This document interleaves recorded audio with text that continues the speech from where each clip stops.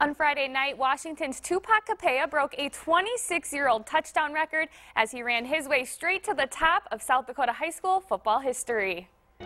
Entering Friday's game against Rapid City Central, Washington senior Tupak Capella was two touchdowns shy of tying the 11-man career touchdown record held by Vermillion's Jason Lieber.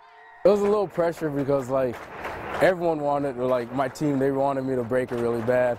And I didn't want to let them down, so coming in the game, I was ready. Capella needed just one quarter to do so. With 1 minute 11 seconds on the clock, Capella darted into the end zone, tying the record with his 61st career touchdown. The title record, I, I kind of forgot about it. So uh, I forgot about it until I heard it, and then uh, I was like, oh yeah. Capella tallied 276 yards in the game and would go on to break the record with his 62nd career touchdown in the second half. We all been working hard. We all been practicing. We all been pushing each other to the limit, and um, we we come as a team and we broke the record as a team because we play as a team on the field.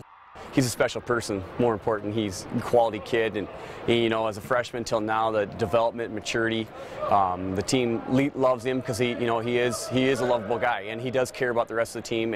But he's not done yet. With just one game left in the regular season, Capella is less than 300 yards away from becoming the state's all-time leader in career rushing yards.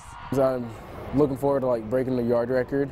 Um, that's my goal right now. So I'm gonna be pushing it hard during practice. So on the field is like I can see my result. Capella and company wrap up their regular season on Thursday as Washington battles Lincoln. Kickoff is set for 6 o'clock at Howard Wood Field.